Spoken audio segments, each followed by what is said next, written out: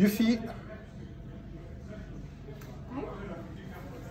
Goedenamiddag, ik ben Gabrielle Massaruto. Uh, een paar maanden geleden hebben wij twee vanuit Gambalt gekregen. De Braziliaanse vanuit Minas Gerais en de Ethiopische vanuit Sidamo. In eerste instantie zou ik graag met de Braziliaanse werken, omdat het ook Braziliaans is. Uh, maar laten we het uitproberen met verschillende grammages, blends, water en op.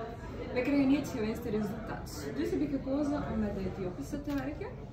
Deze mooie koffie komt vanuit Sidamo, dat ligt in Zuid-Ethiopië. En dankzij het ideale klimaat, met genoeg zon en genoeg water, die vooral van de Rift Valley komt en die biedt ook drinkbaar water aan die mensen, uh, kan deze koffie uh, een mooie kwaliteit geven. En ook de variërende hoogtes zijn heel belangrijk. Tussen de 1600 en 2200 meter boven de zeeniveau kunnen de, plant, de koffieplanten iets langzamer groeien. En dat wil zeggen dat die tijd hebben om alle voedingsstoffen op te nemen. En dan noemen zij ook uh, strictly hard bean. Um, uh, en die voedingsstoffen komen vooral ook van die rijke groene bodem rondom Sidamo. En dat is ook een heel belangrijk uh, punt van kwaliteit van deze koffieplanten en koffiebonen.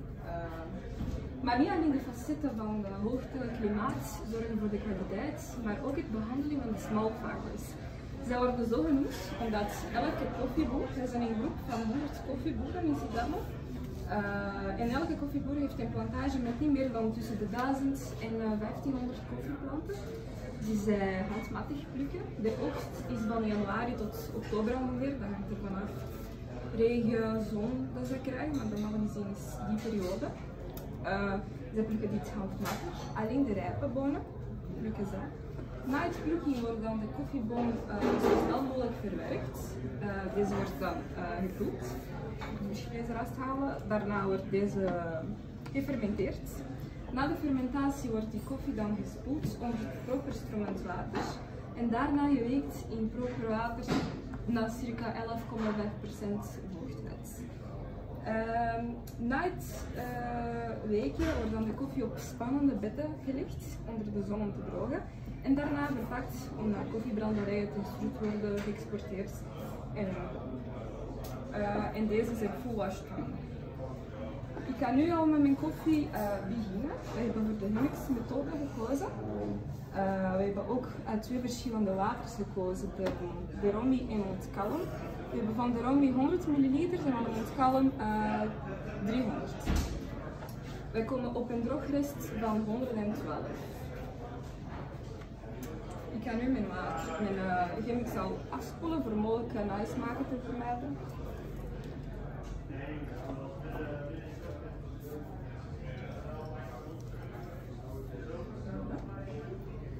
Mijn water is opgewarmd op 93 graden.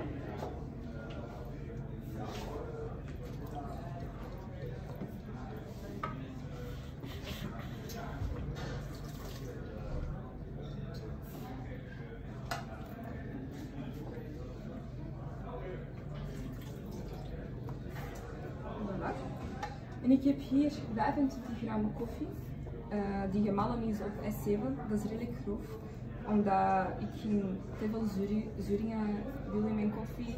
En als iets fijner zou gemalen zijn, zal die mogelijk uh, ongewenste bitterheid komen. Dus ik ga mijn koffie al doen.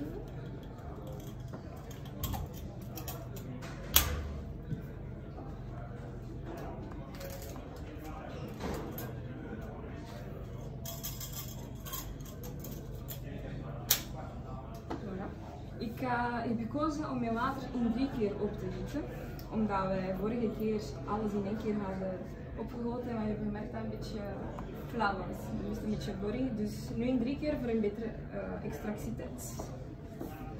Ik ga het eerste keer 100 ml ingieten. Voor gedurende... Even checken.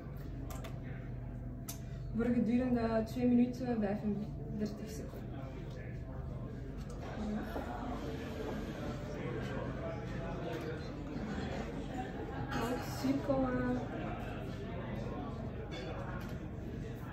doe dus deze beweging voor uh, dat lucht in mijn koffie kan komen en ook zeker zijn dat alle aromas kunnen vrijkomen.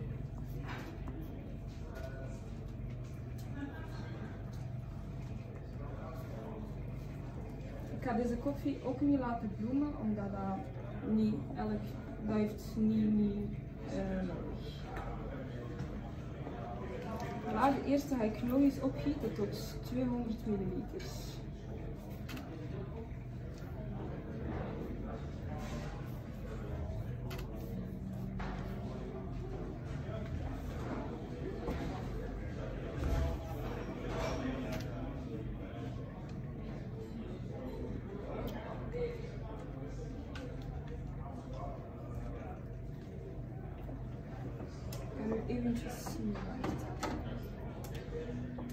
Wat heel mooi is ook, is dat mijn oma, ze heeft in uh, Minas Gerais een klein koffieplantage, dat is alleen voor onze familie, dat is niks professioneel. En uh, zij was super blij toen ik had gezegd dat ik aan dit deel ging nemen. Uh, want bij, bij ons thuis heb ik zo'n thermos, er zit daar een filtertje op en ze kapt daar water in, dus niks professioneel.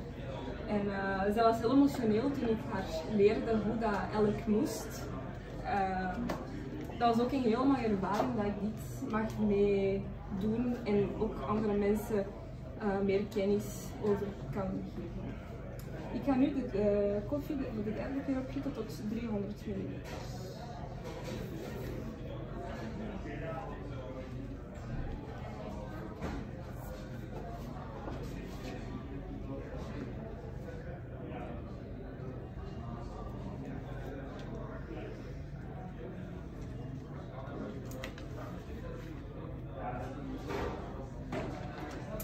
Ik ga een klein beetje in mijn koffie mengen. Voor, uh, omdat de delta extractiteit is en mijn koffie die plakt een beetje aan elkaar. Voilà. Dat iets uh, een beetje los kan komen.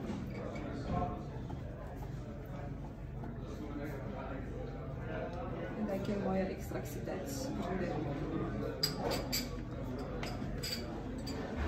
Deze koffie is ook 100% Arabica boom. In Sidamo produceren ze ook alleen maar Arabica soorten. Um, het is onze page mocha. Dus dat is een hele mooie koffie met uh, een mooie body. Voilà.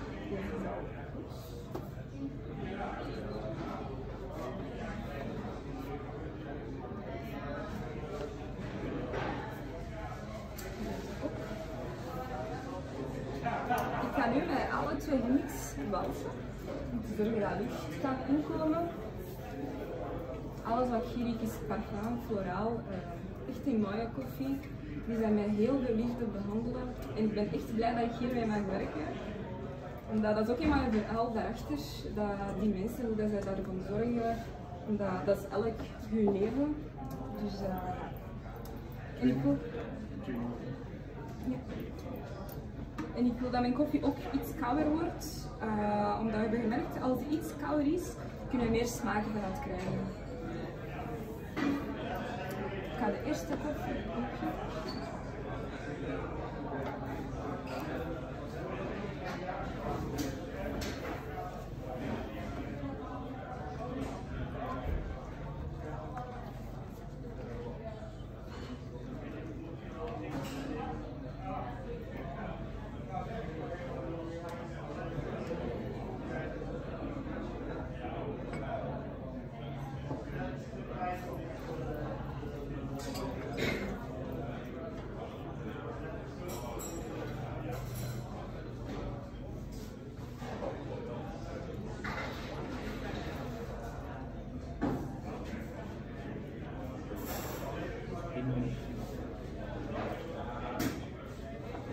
Voilà.